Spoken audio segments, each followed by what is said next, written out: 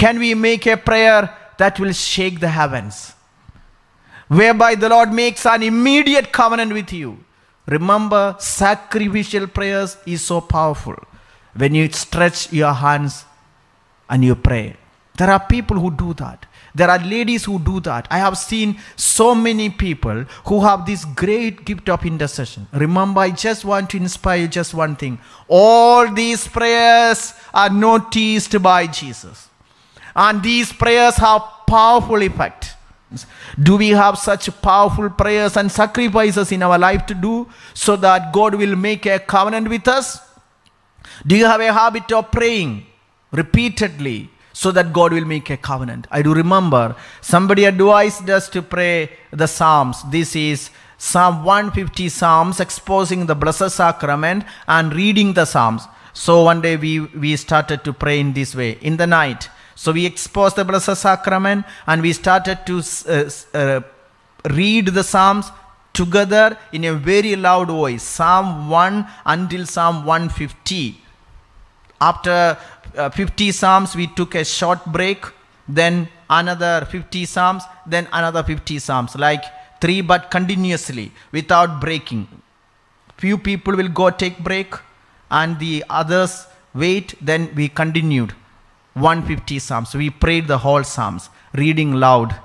And this is the same prayer that Jesus has done. We should know Psalms are all about Christ. And after we have prayed 150 Psalms before the Blessed Sacrament re- reading, it took almost five hours, five hours to read 150 Psalms at a stretch. Sisters and brothers, after spending reading the Psalm, we had a vision of some angels coming to that hall and taking photograph of us. We were around 10 of us, and we could see in the vision that the angels are taking this photograph up to the heaven and sticking our photograph on the walls of heaven.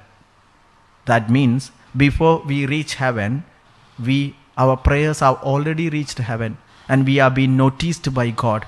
So the moment we enter the gate of heaven, Peter will say, Your photo is already on this wall. Come, come in, come in sisters and brothers. This was a small vision we got just because we did a small sacrifice of praying 150 Psalms. Do we make a prayer that will shake heavens? That will make angels to take a photograph and put our photographs on the walls of heaven? It happens because God cannot cheat. His eyes are sharp. Isaiah 59 1 Is my hands are too short to save you?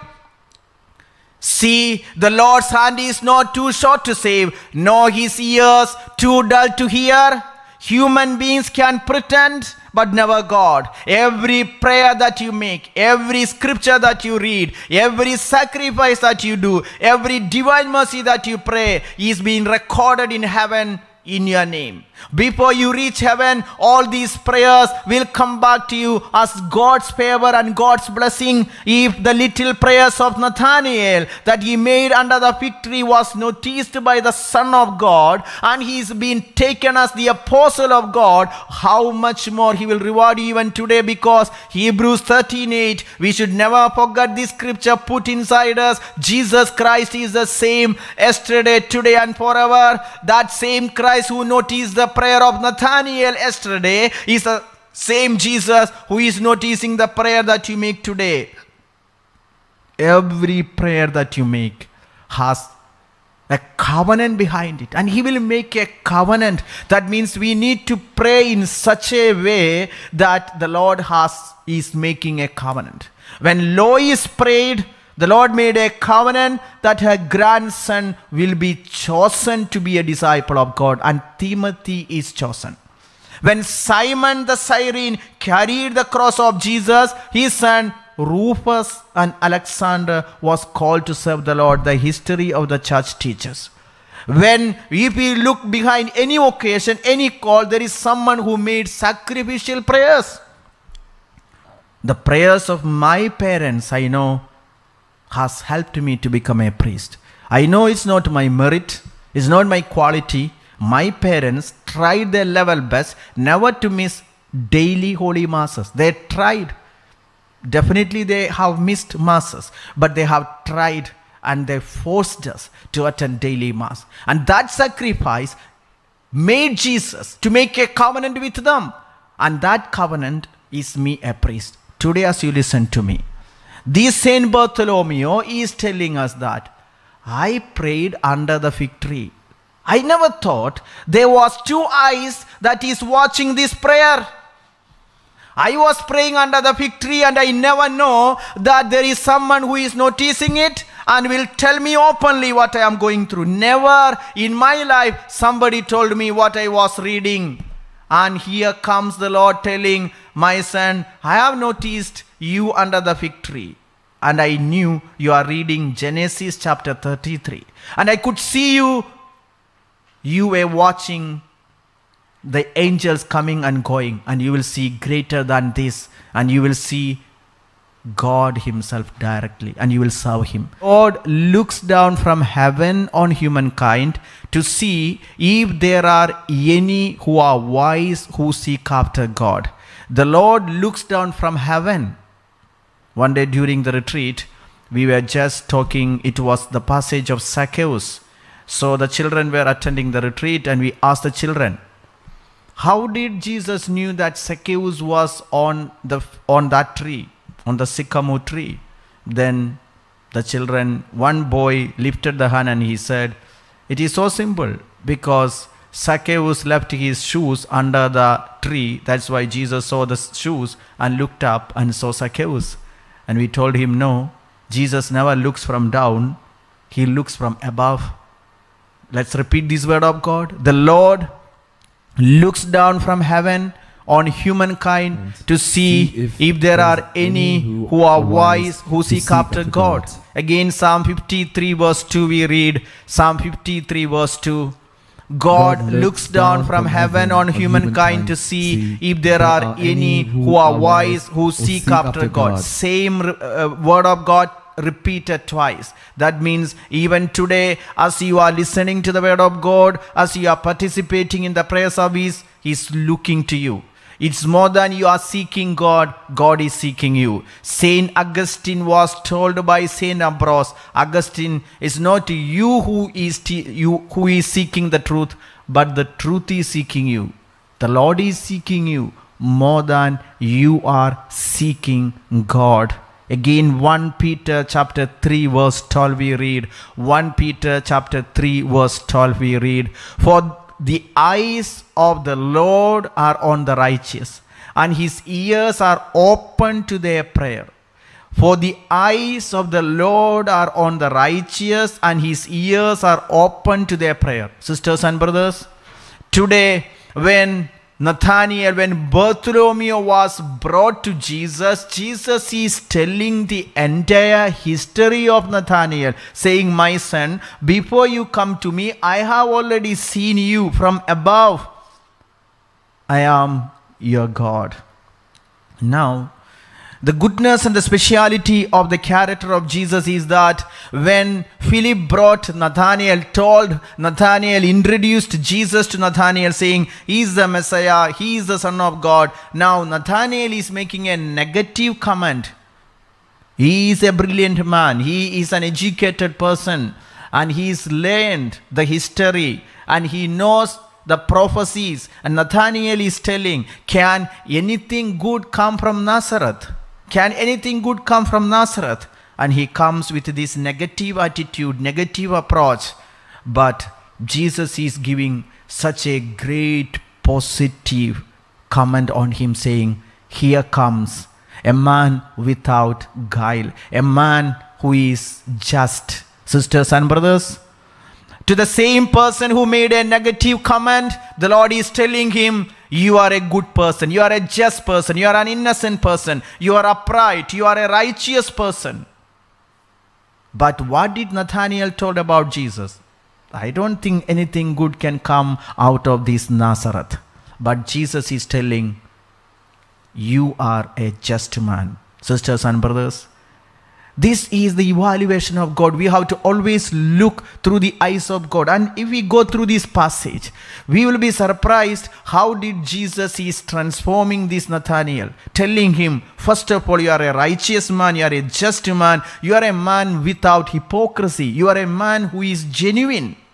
Now, after making this comment, he was so surprised because it's only Nathaniel who is faithful, then the Lord is telling. Do you know that? Before you have come, before you have made this comment, I have seen you under the fig tree. And for a Jewish person, fig tree symbolizes the place where they stay under the fig tree and learn the law, learn the Bible, learn the Pentateuch, the law of Moses. That's the way, that's the place they sit and they pray. And this is what the Lord told him I have seen you, you are praying I have seen you, you are learning the scriptures. I have seen you, you are looking at the law of the Lord. Then Nathaniel was so much impressed. There is no one who knows. It's early morning. Nobody can see that he is standing under the fig tree learning the law, and the Lord is telling, My son, I have seen you, how earnest you are in seeking God. Then, when he called him, You are you are Rabbi, you are a master, you are God. Because there is no one who can see me. I have never seen anybody around while I was praying. I was doing this sacrifice of trying to know my God. Then the Lord is telling, My son, have you believed me? Just because I told you you are praying under the tree, you are reading the scriptures. And I tell you what you are reading. You are reading what Jacob, the incident of Jacob, that he had a vision of the angels coming down the ladder, that he had seen in the vision that the angels were climbing up and climbing down. He was so much impressed and he started following Christ. Sisters and brothers, do we believe that the Lord can see everything that we have done in our life? For the eyes of the Lord are on the righteous and his ears are open to their prayer 1 peter 3:12 this is the scripture for the eyes of the lord are on the righteous anything good that you have done any time in your life is noticed by the lord stored in his heart I do remember an incident. This was while I was in the retreat center in Mumbai in our Thabo Divine Retreat Center. During the retreat, there is registration. Anybody who comes to attend the retreat, they have to register their name. But there are certain conditions when you come for the retreat, especially if they are drunkards and they have some kind of uh, manifestations like withdrawal symptoms. We don't have the facility. We have to make sure that somebody accompanies them, that they don't come alone. Somebody is there with them to take care of them in case of some kind of withdrawal symptoms. Then Father, the director, Father told me, Father Matthew told me that you have to be near the registration desk in case there is some complicated issues that some people with serious medical conditions or some mental uh, problems or extreme drunkenness you have to speak to them. Maybe if they are alone you have to send them back and tell them to come with somebody so I, I was waiting there. If there is some extra means extraordinary cases, those who are in the registration, they have to recommend them to the priest and we will just pray for them and find whether they will be able to continue in the retreat means attend the retreat. Then as I was there, somebody came so drunk. He was not on his two legs because he was so much into alcohol because somebody told him once he starts the retreat, he, he cannot drink so he drank full and he is coming for the retreat. So those who are in the uh, process, they came to know in this condition he is not able to attend the retreat. So they just recommended, they just sent him to me. And I came to know that he cannot just stand alone, that he is just going to fall. He has extreme withdrawal, and I was afraid that if he stays there, he may have some withdrawal symptoms. But you know, the drunkards is very difficult to speak to them once they are fully drunk. I just asked him that, uh, Are you alone? Then he said, uh, I'm alone. Then I told him, If you are alone, we cannot let you attend this retreat because if you have some withdrawal symptoms, there is no one to look after you. So it's difficult for you to attend this retreat because we cannot look after you. Then this drunkard is telling when somebody gets drunk, I have found they get an extra intelligence. Then he is telling me, Father, you don't want to look after me. Then I told him, then who will look after? We need to keep somebody. Then he told me, Father, Jesus will look after me. Then I told Jesus is looking after you through us. So how can you say Jesus will come and look after you? Then he told me, Father, you don't want to worry. I came to this place seeking Jesus. How can you chase me away? I told him, I'm not chasing you away. We don't have that uh, facilities to look after you. Then how can you attend the retreat? Then he asked me, Father, this retreat center, is it for the people who have no problems, people who are holy, or people like me who are sinners, who are drunkards, who have difficulties or family issues? Are you keeping this retreat center for perfect people? Then, Father, where else I go? Then I was being shocked because he's more intelligent than any of us. And he's telling me, Father, this center is for people like me. I have a problem. And I have this difficulty, I have this challenge of I want to stop drinking. But then where else I go? It, if it is not to Jesus, then where else I go? Then I told him, Your logic is correct, but our problem is we don't have the facility. Then he told me, Father, you don't worry. God will look after me. Then I told him, I have no problem provided you have to bring somebody to help you. Maybe a family member, your cousins, your relatives. Is there somebody who came with you? Then he said, Father, there is no one. I am alone. But you don't worry. God will look after me. Then I, I came to know he's not just going in this way.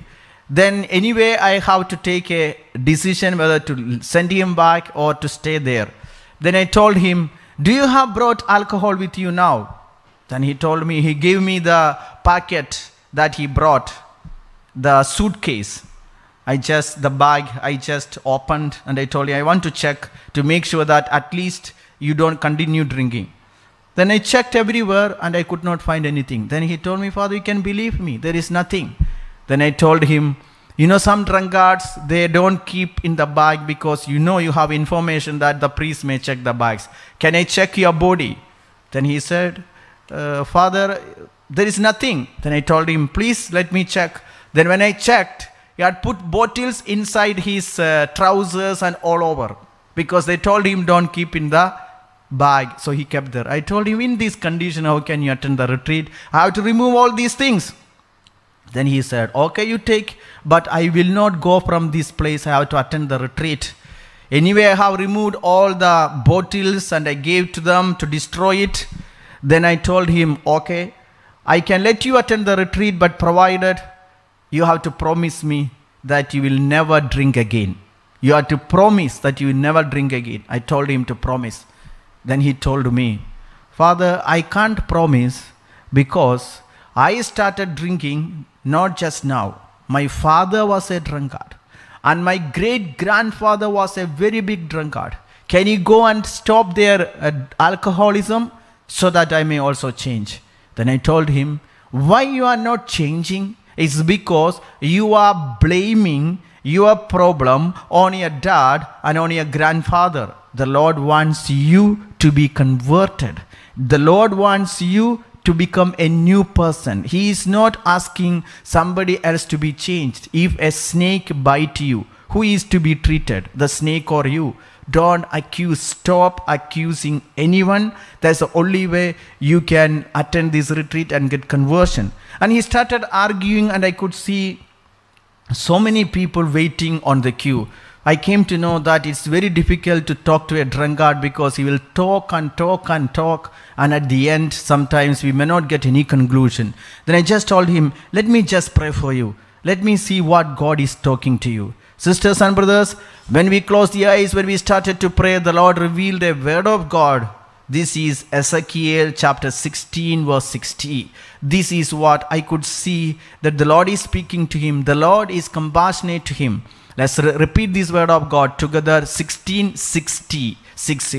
Yet Yes, I will remember my covenant with you in the days of your youth, and I will establish with you an everlasting covenant. The Lord is telling him, Yet I will remember my covenant with you in the days of your youth, and I will establish with you an everlasting covenant. I was so much impressed with the way the Lord deals with him. That means the Lord wanted him to attend the retreat. The Lord is taking him inside the retreat, though he is fully drunk, though he carried bottles with him. I came to know Jesus has no problem with me. It's only me as a priest have lot of confusions and problem to take a decision to let him attend the retreat. But the Lord is telling, This is my son. I had already made a covenant with this son when he was young, and I am the same who made a covenant with him. That means before he became a drunkard, he, he, is, he was my son and he is my son. And I always love him the way he is. I always tolerate him. Then I kept him aside and I asked him, What's your background? Can you just briefly tell me about you? Then he told me that he, he's married, he has wife, he has three kids. He started a business. The business collapsed. To forget about this stress, he started drinking. Now he could not stop drinking because he has huge debts. He's telling to forget all his problems. Now he started drinking alcohol and now he cannot get out of it as if he is trapped there. But I asked him, But what is your background? Is any time you served God? Then he said, he was helping a missionary priest in a remote village where they had a lot of problems. There was terrorist attacks. He went and helped a priest for some six, seven years and he did his little studies with the priest. Until the priest got transfer, he stayed with the priest. But in between, while the priest was there, the robbers attacked, but he was the only one who stayed with the priest and gave him moral support because of that good work he has done when he was young that was before he got married. Before when he was young he went with a missionary priest. He helped in a remote village protecting the priest from robbers and saved him. The lord made a covenant with him. The lord had never forgotten that act of charity he has done and still the Lord remembers him, and the Lord, because he made a covenant with him because of the prayers he has made. Sisters and brothers, with that incident, we let him attend the retreat. He attended the retreat and he requested, Can he stay back for another retreat? He stayed back for another retreat. He said, Can I become a team member? If I go out again, I can start this habit of drinking. And he stayed there. He became a new person. He became a powerful instrument in the hand of the Lord because of the small charity he has done when he was young.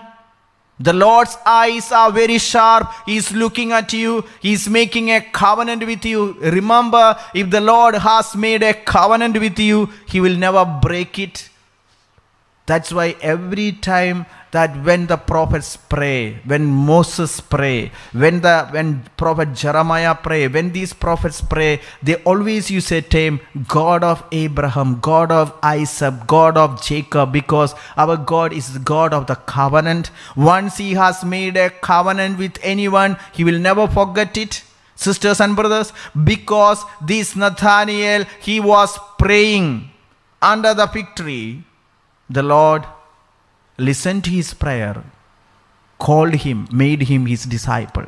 Today, as we are here, we should know there is someone who is praying for us. That's why he's making a covenant. We read in 2 Timothy chapter 1, 4 and 5 why Paul is calling Timothy as his disciple. It's because he could see the prayer, the sacrifices of the mother and the grandmother 2 Timothy 1 4, recalling your tears. I long to see you so that I may be filled with joy. Then, verse 5, we read, I am reminded of your sincere faith, a faith that lived first in your grandmother Lois and your mother Eunice, and now I am sure lives in you. Remember, the faithfulness, the covenant the Lord made with Lois and Eunice, the grandmother and the mother.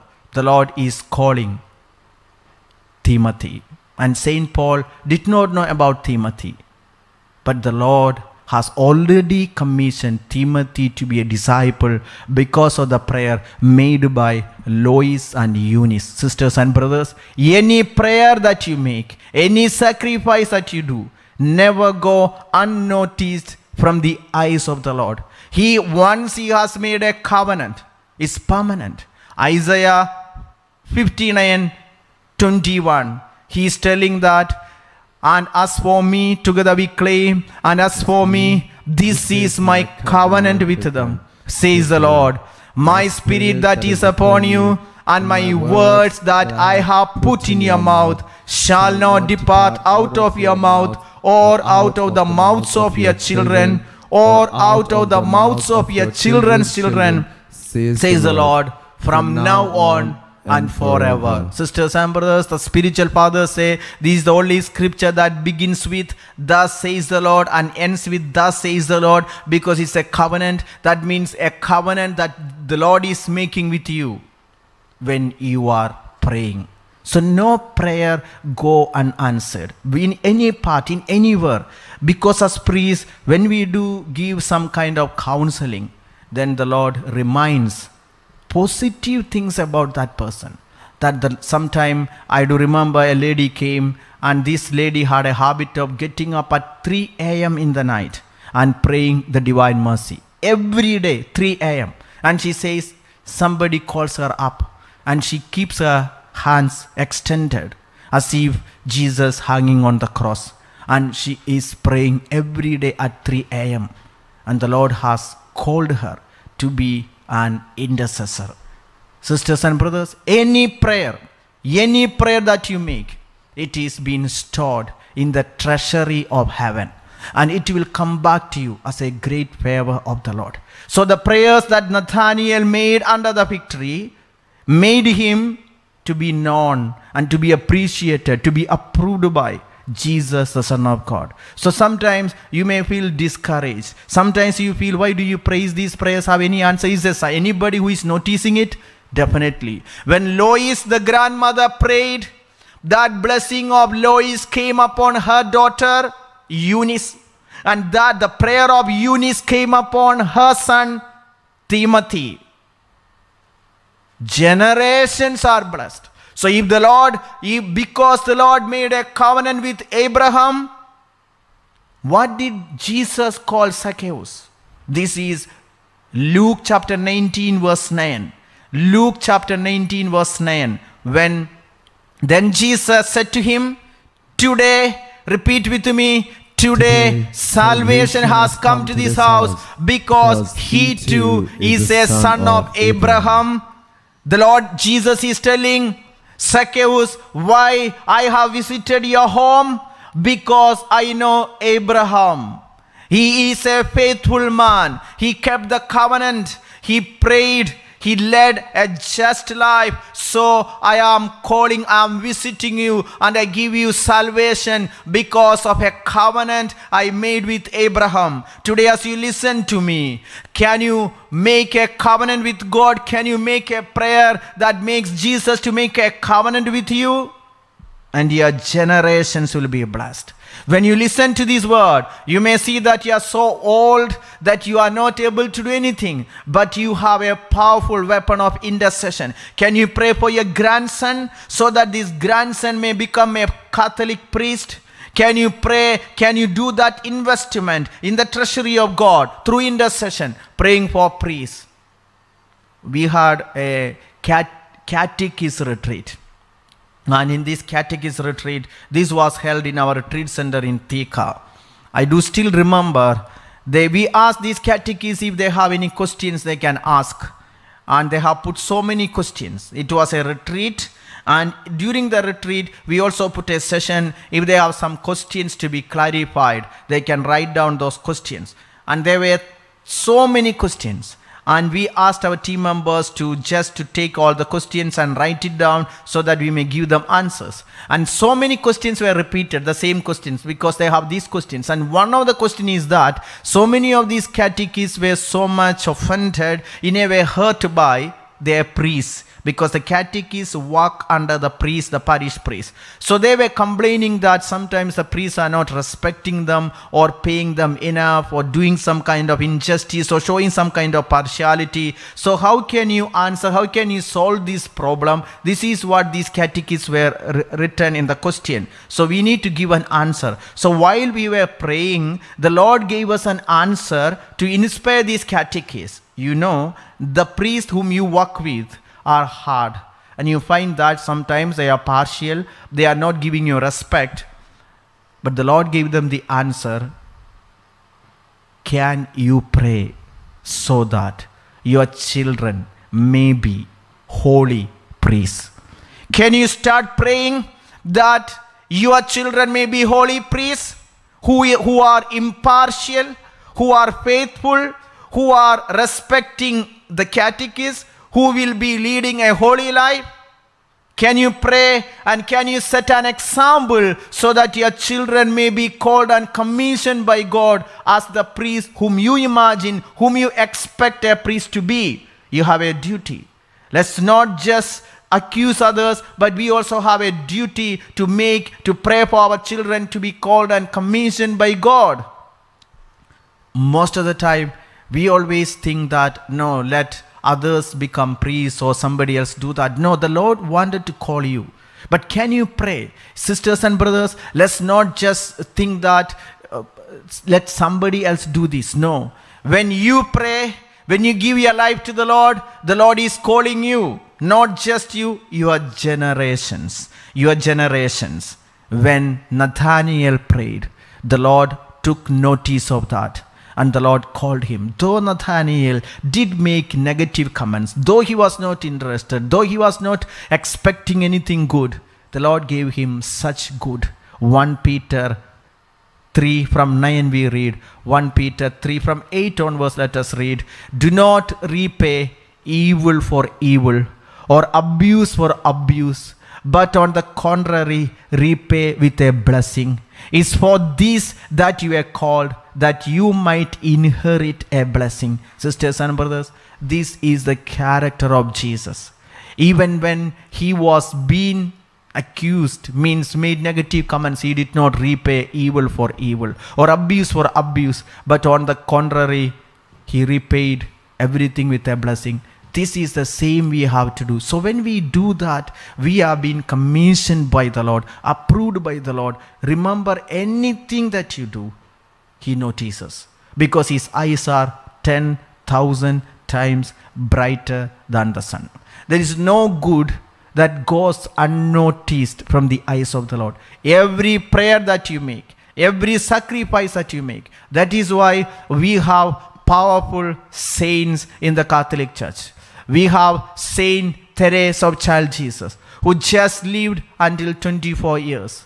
Sisters and brothers, while she was alive, nobody took notice of her. But she used to sit in front of the Blessed Sacrament and she did sacrifice. She used to pray and she used to do great sacrifices for the conversion of sinners. It's after her death, her noble life was being exposed by the Holy God. Her prayer were unnoticed by humans those time but it was never gone unnoticed by the lord there are certain times you are going through humiliations. You may be keep on praying for the conversion of your husband. You may be keep on praying and you find no there is no breakthrough. But remember these are being noticed by god. We read in psalm 56 verse 8 psalm 56 verse 8 the scripture says you have kept count of my tossings. Put my tears in your bottle. Are they not in your record? Repeat with me together. You have, you have kept, kept count of my, my tossings, but my tears in your bottle. For are, they not, not in, your, in your record? Sisters and brothers, every pain, every tear, and actually put my tears in your bottle. We have to know symbolically, tears is the sign of intercession. Every prayer that you do is notice recorded by the Lord. Lamentations 2 from 18. Lamentations chapter 2 from 18, we read how we have to pray shedding tears. Cry aloud to the Lord, O wall of daughter Zion. Let tears stream down like a torrent day and night. Give yourself no rest, your eyes no respite. Verse 19. How and for what that we have to pray. So arise, cry out in the night at the beginning of the watches. Pour out your heart like water before the presence of the Lord. Lift your hands to Him for the lives of your children who faint for hunger at the head of every street. Sisters and brothers, look behind any occasion. There is a lot of prayer. There is a lot of intercession. There is a lot of sacrifices. And every sacrifice, every prayer, every charity that you do is noticed by the Lord and it will return back to you as His favor, as an occasion, as a fulfillment of God's covenant. The same way, if the Lord called Abraham to be a blessing, the Lord is also calling you to be a blessing as you are. Maybe you are old, maybe you are sick. There are many saints who have just spent their whole life in the sick bed. Then why they are still being honored and respected? Because they spent their suffering to give glory to God, to save souls. So today, in whatever situation that you are, maybe you have a difficult family life. You have a husband who never listens to you. You may have a husband who abuses you, who persecutes you. But can you tolerate your husband through prayer for the prayer for all the husbands who do the same? You the lord will make a covenant with you and with this covenant your children can be priests and nuns and consecrated people. Maybe you are a husband and you find your wife is repeatedly unfaithful and disobeying you and giving you hard time but you still hold on to her and you pray for the conversion of your wife and such wives all over the world. God will make a covenant with you. That means you have to make a prayer in such a way. God will make a covenant with us. Remember how did and when did God made a covenant with Abraham when he made a prayer by sacrificing Isaac. And that was the day the Lord made a covenant with Abraham and he became the father of all nations. Do we have such powerful prayers and sacrifices in our life to do so that God will make a covenant with us? Do you have a habit of praying repeatedly so that God will make a covenant?